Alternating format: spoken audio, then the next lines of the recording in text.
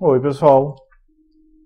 Quero trabalhar com vocês a eficiência energética de dispositivos e a criação de entropia que pode haver né, muitas vezes. Então, para a gente entrar no assunto, vamos considerar aqui a, a energia que é produzida numa hidrelétrica e que é transmitida até uma lâmpada acesa na nossa casa. Então, a hidrelétrica, ela trabalha com água que vem do reservatório sob pressão. Uh, essa, essa água sob pressão, ela traz então uma quantidade de energia e ela aciona a turbina de água, uh, fazendo girar um eixo que, por sua vez, né, vai levar a transmissão de momento angular para um gerador elétrico. Então, esse momento angular carrega consigo a energia. E com isso, o gerador consegue acionar né, a produção de uma corrente elétrica, certo? Consegue colocar elétrons em movimento nos fios. E então, com essa corrente elétrica andando, existe uma energia que vai ser transmitida pela eletricidade e que vai ser levada até a tua casa pelos fios elétricos, acionando a lâmpada, que vai então dispersar essa energia como luz e calor no teu ambiente. Agora, toda a energia que foi gerada lá originalmente, né, que foi pega da água sob pressão, é o que chega na casa da pessoa para gerar luz? Não, evidentemente tem perdas de energia ao longo do caminho, certo? Então eu poderia dizer aqui ó, que uma, uma quantidade de entropia é produzida pelo atrito, certo? Da, das peças mecânicas da turbina e a própria viscosidade da água ela leva a situações né, de fricção interna do, do líquido. Então existe uma energiazinha que vai ser perdida aqui, certo? Então vai ter um pouco de energia que vai se uh, perder com a produção e dissipação de entropia no ambiente. Então é claro que uh, o que a turbina consegue passar adiante para o gerador já não vai ser tudo isso, vai ser um pouquinho menos. O gerador, por sua vez, vai ter algo, vai ter processos semelhantes. É certo que, como ele tem ah, partes móveis, ele vai ter algum atrito em algum momento, em algum lugar, vai ter uh, aquecimento, vai ter produção de entropia. Né? Então, dessa forma, você tem perdas ao longo do processo. E a eficiência energética não é 100%. Então a gente vai tentar né, entender isso aí e calcular. Para a gente poder fazer os cálculos, a gente tem que ter o conceito de eficiência energética ou rendimento, certo? O sinônimo seria rendimento. E você simboliza pela letra grega eta, que parece a letra N, só que com uma perna comprida, tá? A segunda perna mais compridinha. Então, o que, que você faz? Uh, você observa qual é o teu retorno, ou seja, aquela coisa uh, que você deseja obter do, do, dispositivo, em termos energéticos, e observa uh, qual foi o teu investimento em termos energéticos. A razão entre esses dois números é a eficiência ou o rendimento. Um exemplo, esse motor elétrico aqui da foto, ele é um motor de 8 kW, é uma potência de 8.000 joules por segundo, então. Certo? Isso significa que a corrente é, elétrica que ele vai puxar da rede vai ser 8.000 joules a cada segundo, quando ele estiver operando.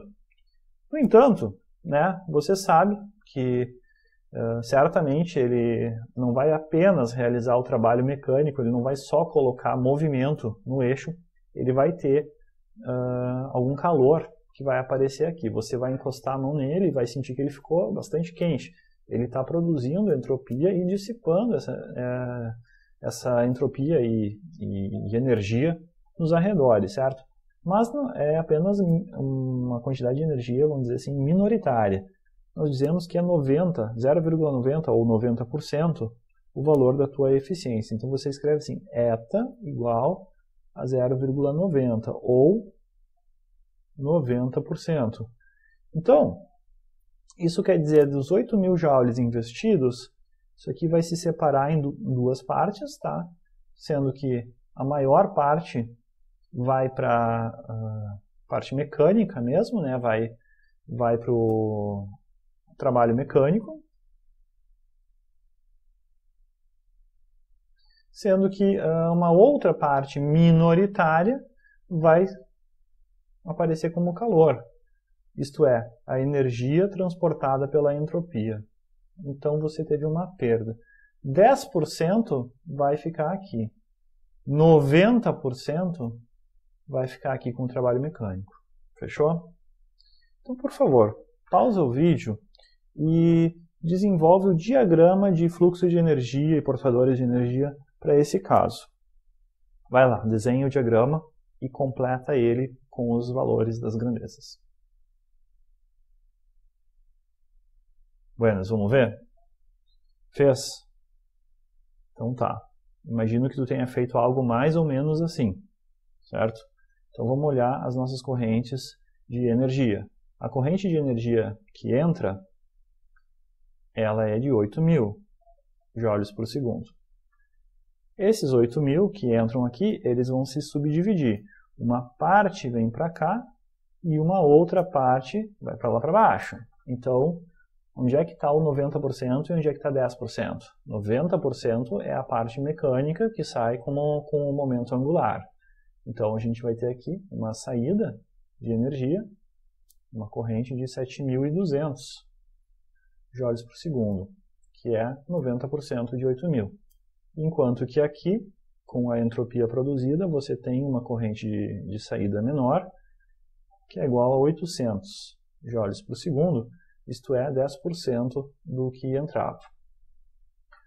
Você pode uh, calcular a entropia que está saindo também, certo? Qual é a corrente de entropia que está uh, tá saindo?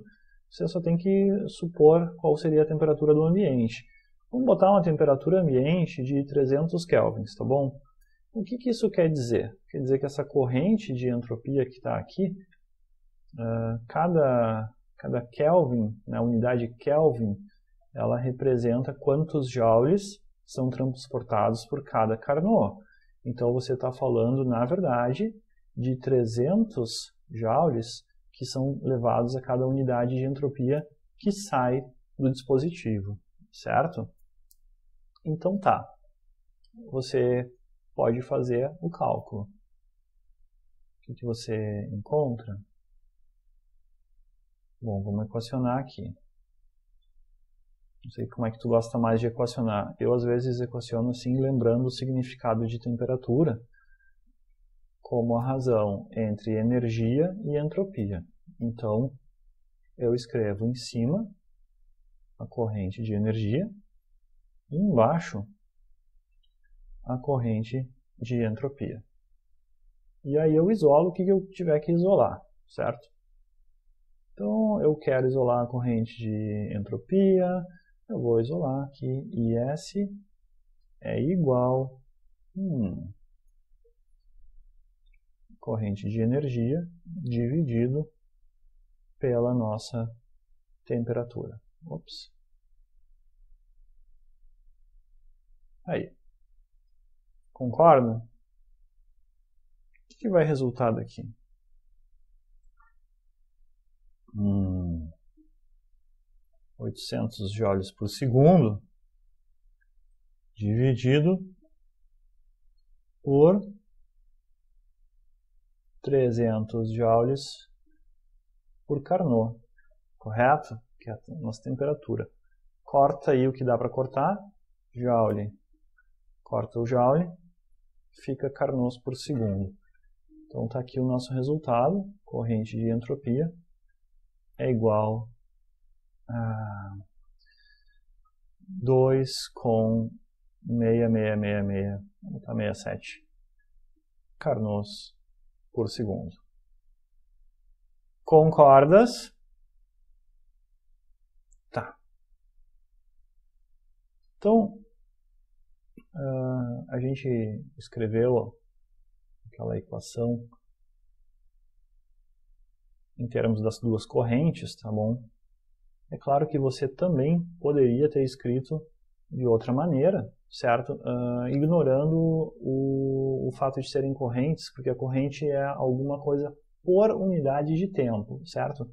Também daria para escrever, né? Também daria para escrever sem pensar no tempo, isto é, como a energia transportada pela entropia uh, dividido pela, pela própria entropia que se deslocou, certo? Então eu escreveria aqui no denominador a entropia transferida e ela carregou junto, né, carregou nas costas dela alguma energia e essa energia se chama calor, Q. Então você poderia ter escrito essa relação aqui também, certo? Que né, você pode reorganizar dizendo que a entropia transferida uh, vezes a temperatura é igual ao calor, é igual à energia que foi deslocada, ou foi levada nas costas da entropia. Tá bem? Dá para escrever dos dois jeitos. Bom, pergunto, a eficiência, ela sempre é um valor entre 0 e 1? Pois é, a impressão que deu aqui é que sim. Porém, eu quero te mostrar que isso não é necessariamente verdade. Tem uh, alguns dispositivos que trabalham com eficiências maiores do que 100%. E olha só o que, é um deles. É uma bomba de calor, certo? E essa bomba de calor, eu digo que é uma bomba de calor ideal, no sentido de que ela opera reversivelmente. Ela opera sem gerar entropia nova. Poderia imaginar que é um ar-condicionado, certo? Ele vai fazer a refrigeração de um ambiente, de um recinto. E vamos dizer que tem aqui uma corrente de energia que vem pela rede elétrica. Essa aqui tem um custo para ti. Corrente de energia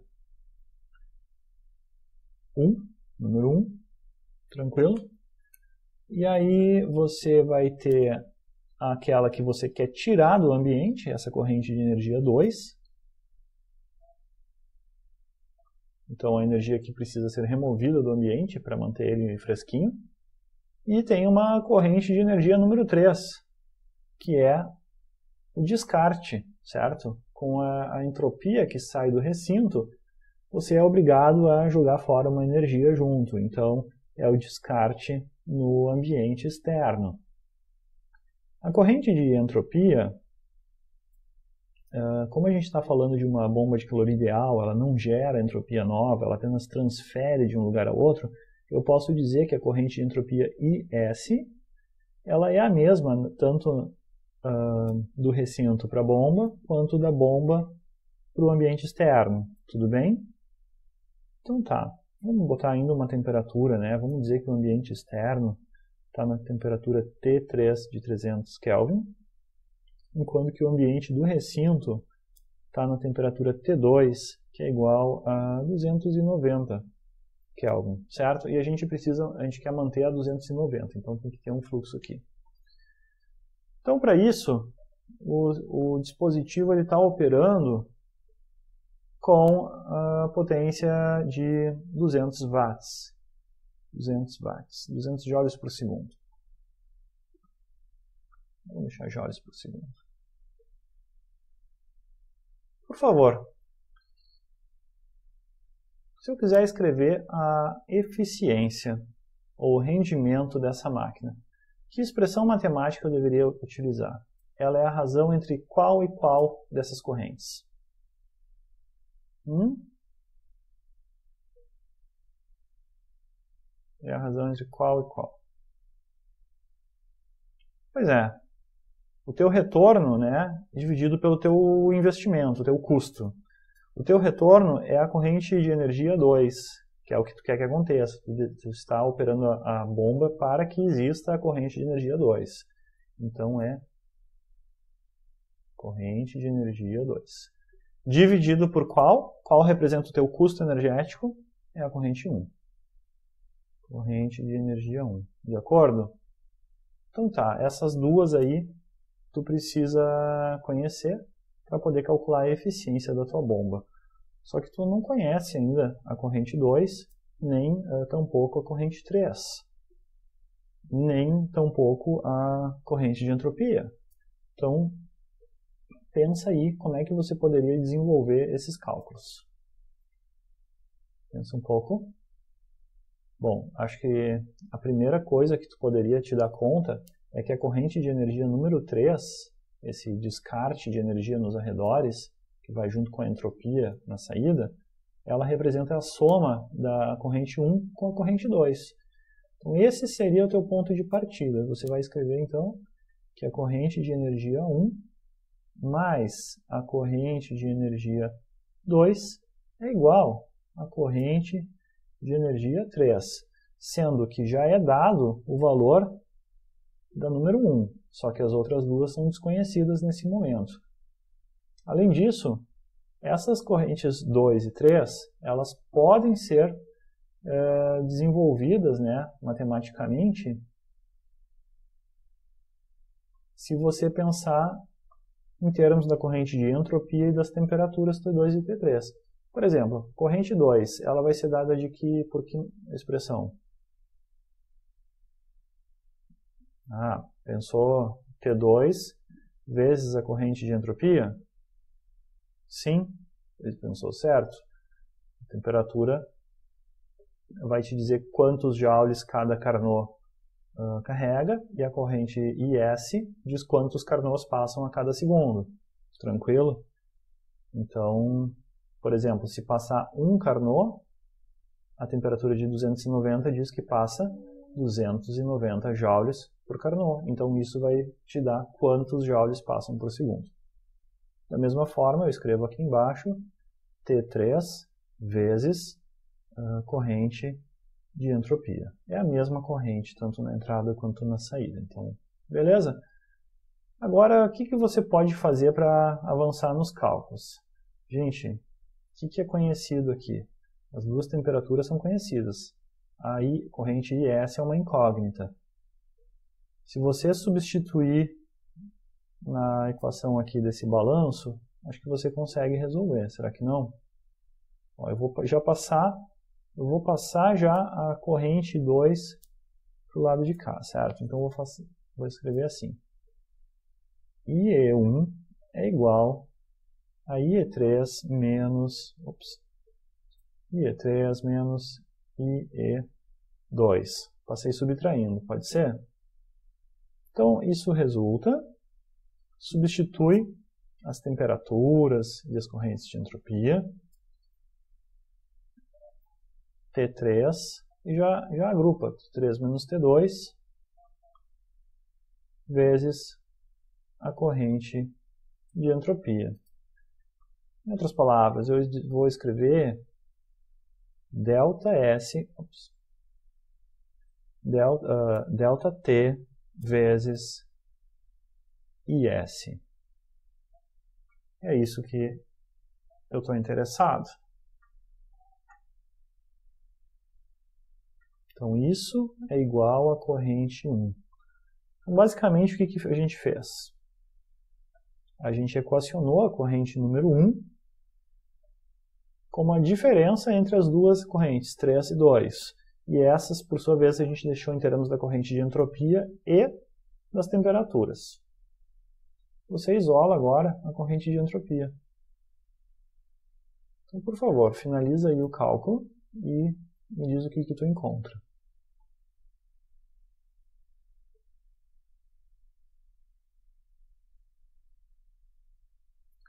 É, uh, você tem aqui corrente de energia 200 joules por segundo, temperatura 10 Kelvin, isso quer dizer 200 joules por segundo dividido por um, uh, 10 joules por Carnot. Você corta joule com joule e o resultado é 20 Carnot por segundo. Então está aqui. Encontramos a corrente de entropia. Vou voltar na figura e preencher ela. 20 Carnot por segundo. Então é isso que está sendo bombeado, certo? Você está removendo essa quantidade de entropia do recinto e jogando nos arredores. Quanta energia está sendo carregada fora do teu é, recinto? Bom, é tranquilo de calcular. Você tem a relação, ela está aqui. Desenvolve. Você vai desenvolver 290 joule por Carnot, Kelvin é joule por Carnot, vezes uh, 20 Carnots por segundo. Resultado: 5.800 uh, joules por segundo. Então, 5.800 watts é a corrente de calor que está saindo aqui, certo? Ou você está conseguindo tirar 5.800 joules de energia do recinto a cada segundo. Lá na saída, é essa energia que aparece? Não, não é. Na saída para os arredores, você tem a soma de energia corrente 1 e a corrente 2 de energia. Então, seria 200 mais 5.800, 6.000 joules por segundo. Ou ainda, né, 300 Kelvin vezes 20 Carnots por segundo, ou seja, 300 joules por Carnot vezes 20 Carnots por segundo. É isso. Fechou? Então, você vai finalizar o cálculo da eficiência. E a eficiência vai ser igual a hum, 5.800 dividido por 200. Corta, ops, corta 0 com 0, 0 com 0, hum, 58 sobre 2. Então, isso aqui, vou escrever aqui no cantinho, eta é igual,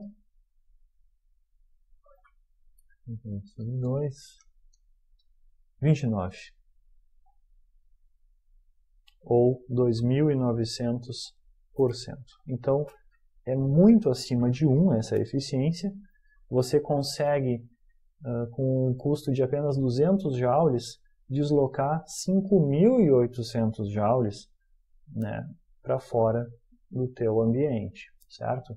Então é uma eficiência muito grande, muito, muito, muito grande, muito bom.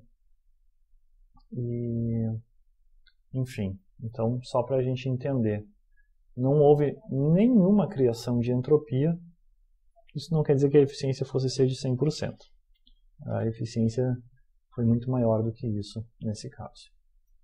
Eu vou colocar um desafio para ti, tá? Um pequeno desafio em que você ainda tem o mesmo sistema, certo? O mesmo sistema, o mesmo sistema, só que agora com uma bomba não ideal. Certo? A, a corrente de entropia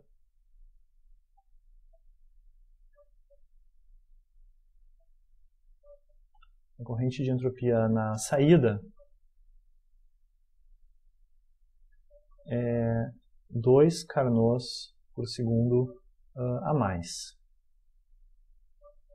do que na entrada, certo? Então, uh, tem 2 Carnots por segundo a mais. Então, em outras palavras, aqui dentro, na parte talvez mecânica, um pouquinho de entropia a mais é criado e então essa a entropia que sai, ela, essa flecha aqui sai um pouquinho mais gorda, um pouquinho mais de entropia indo para fora. E você ainda precisa você ainda precisa que um, seja tirado do ambiente, né? você ainda precisa tirar do recinto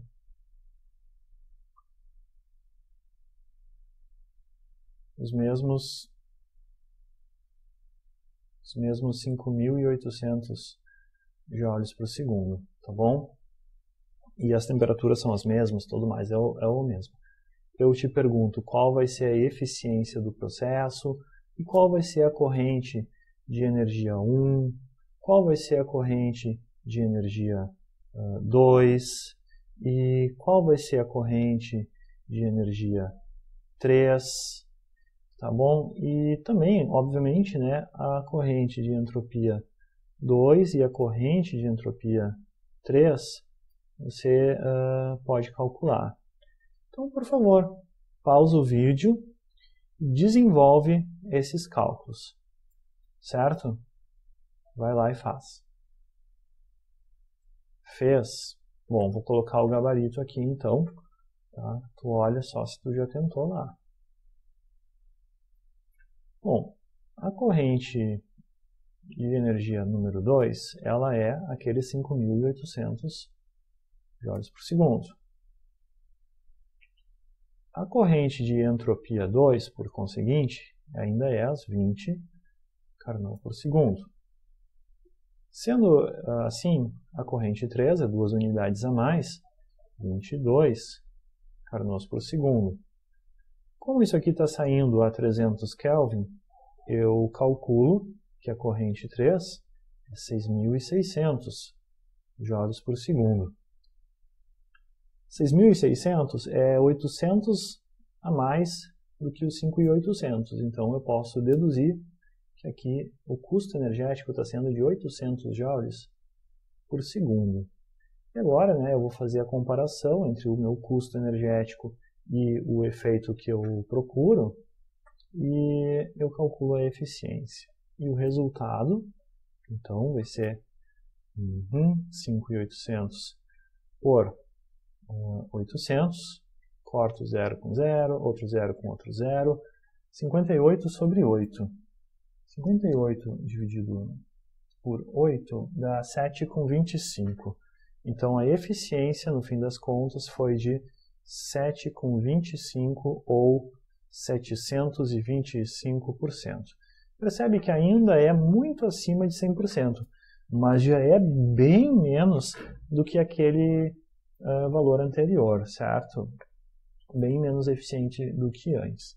E também, né, o nosso custo energético aumentou. A, a, bomba ideal de antes gastava 200 joules por segundo, essa aqui gasta 800. Por que 800? Porque além de uh, utilizar, utilizar os, os 200 para puxar a entropia do recinto para os arredores, ela ainda tem que gastar mais energia para criar e empurrar para fora a, a, a, a entropia uh, do atrito, das, enfim, é tudo que é criado dentro da máquina. Fechou? Então o custo né, energético só podia aumentar. Então tá, espero que tenham conseguido resolver o desafio e também né, entre em contato se precisar tirar alguma dúvida. Tá, tá legal? Um abraço.